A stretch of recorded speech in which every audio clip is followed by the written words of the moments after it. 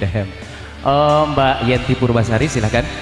Dikasih satu hati sampai mati. Dari yang tidak mau disebutkan namanya. Silakan.